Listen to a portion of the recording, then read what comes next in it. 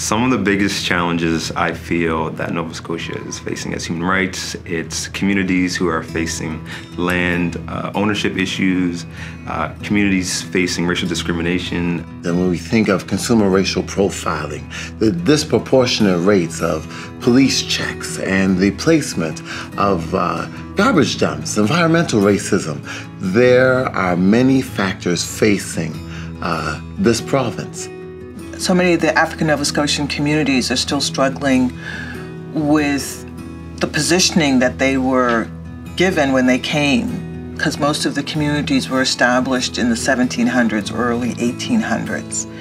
And those were free blacks came, that's where they were permitted to live. Most people of African descent in Nova Scotia are still suffering the impact of racism in absolute silence.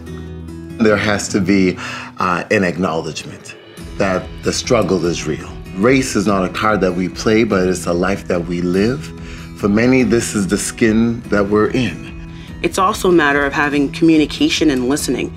So, sitting down and having what I call courageous conversations, actually having those open and honest conversations. And they're extremely difficult to have. People do not want to have those conversations. It makes them uncomfortable. But having the courage to sit down and say, you know what, we're going to have a conversation about race and discrimination and racial profiling. And these are what they are. Well, one of the initiatives that I'm really proud of and feels represents true progress is the work that we are doing with the African Nova Scotian community on land titles clarifications and to help people get clear title to the land that they live on. This has been a long standing issue, but you know what? We have to take the time to get it right for the community.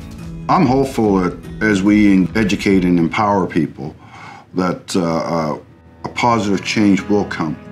As Dr. Martin Luther King said, a change will not happen until we change ourselves and our own way of thinking. And we recognize that we are all in this together.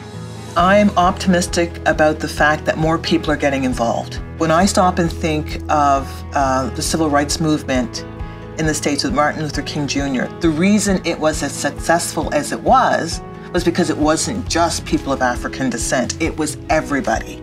It is the UN Decade of People of African Descent, and we have been working with community and various levels of government on a number of initiatives. There are still many challenges facing the African Nova Scotian community. That being said, I believe we're on the right path to healing and resolution.